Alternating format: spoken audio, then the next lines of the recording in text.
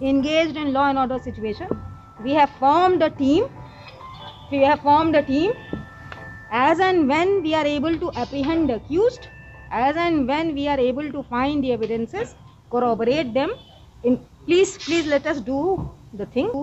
लेकिन इससे आगे मीडिया ने जैसे ही सवाल करना शुरू किया आईजी भड़क गई क्या मुझसे मैं कह रही हूँ कि मैं कोई बाइट नहीं दूँगी सुनते नहीं हो तुम लोग मैं जा रही हूँ मैं एक बार कुछ कर लूँ ये बिल्कुल नहीं एस आई बिल्कुल नहीं बनी है।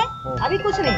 मैं जाऊँ आदेश करूँ तो मैं आपको बोलूँगी तो वेट करेंगे कोई बात तो वेट करिए ना फिर भेड़ में तो क्या बता दें इंतज़ार करें नहीं क्या बता देते भाई? मैम असल में क्या हुआ ना कि क्या बता दें आप? एसआईटी का फॉर्मेशन हुआ है और एलिगेशन एलिगेशन ये लग रहा मैम कि जब तक हम आदेश ना निकाल दें हम कैसे कर देंगे हम वही करने जा रहे हैं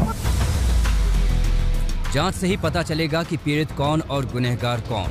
लेकिन सवाल तो ये है कि क्या मंत्री के आरोपी बेटे से पूछताछ करना ज़रूरी क्यों नहीं समझा गया?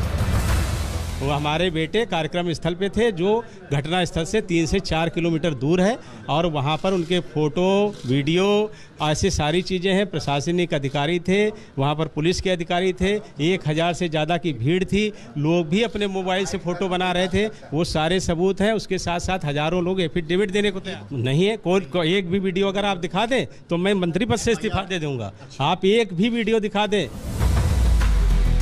आरोप प्रत्यारोप। पिछले तीन दिनों से देश यही देख रहा है। लेकिन इंसाफ के लिए ज़रूरी है त्वरित कार्रवाई।